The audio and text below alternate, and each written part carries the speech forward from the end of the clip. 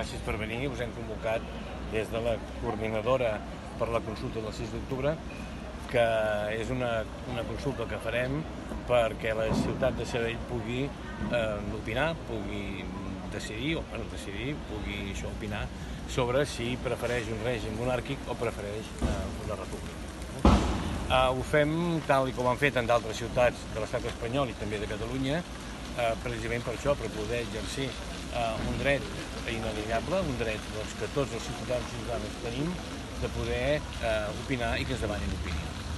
Eh, aquesta, aquesta consulta, que es farà eh, tot Sabrell, eh, mitjançant 30 punts de, de votació, eh, com a mínim una a cada barri, doncs això es farà el 6 d'octubre, podran votar totes aquelles persones majors de 16 anys i eh, ho farem de, amb aquests punts de cada barri de 10 del matí a 2 del migdia, eh, que ens sembla un temps suficient perquè tothom pugui, pugui doncs, exercir el seu dret a opinió. No?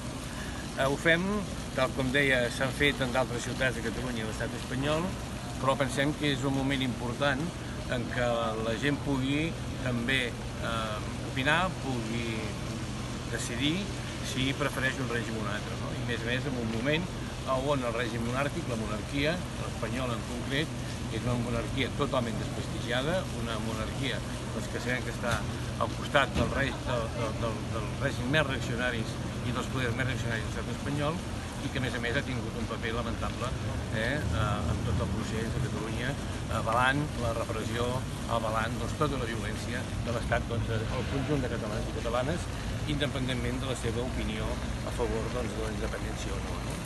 Per tant, entenem que, que la monarquia no té cap raó de ser, no té cap justificació i té aquest desprestigi al marge del polític, el desprestigi de la corrupció, de ser una monarquia totalment corrupta i que a més a més ningú ha escollit. No? Per tant, pensem que és, és important anar, eh, diguéssim, posant en pràctica l'exercici aquest de, de, de poder decidir quin, quin règim volem.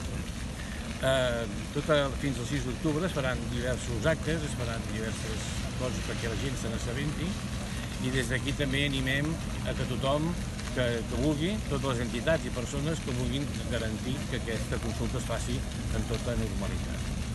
Hi ha un punt important que és que el proper ple de, de municipal, el proper dijous, penso que és, sí, el dia 17, Ah, dimarts, perdó. Canviat. Sí, sí, encara tinc el xip anterior. El proper dimarts s'ha portat una moció eh, des de la, la, la plataforma, eh, des de la coordinadora de les entitats, perquè es pugui debatre doncs, en el ple municipal també si estan a favor o estan a favor de recolzar la, aquesta consulta.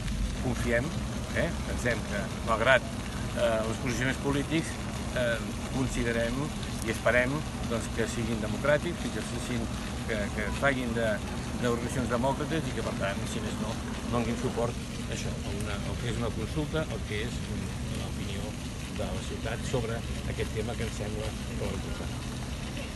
Hi ha alguna força política que hagi dit eh, explícitament ja que donarà suport o que no ho hagi fet saber? De moment no, i des que es va entrar fins ara no en tenim cap retorn, però estem convençuts que el desitjable seria que totes, no?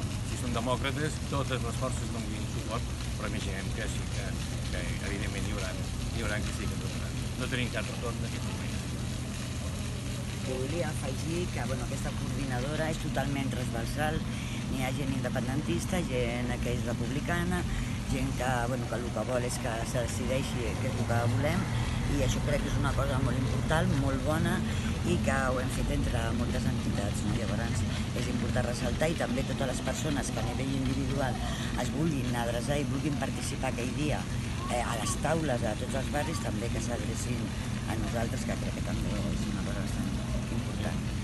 Els noms que surten aquí són els noms que avui en dia doncs, han dit que sí que donen suport, però està oberta a tothom que s'hi vulgui llegir. És més, fem una crida a que tothom que vulgui sumar-s'hi, es vulgui afegir, doncs que s'hi assumir. Eh, perquè és un tema de ciutat, és un tema de tothom que es consideri demòcrata i que, per tant, doncs, tothom pugui col·laborar si està, o sigui, que la ciutat de Sevilla pugui exercir el seu dret a consulta sobre la monarquia o punts de votació seran a peu de carrer, seran a edificis Seran a peus de carrer.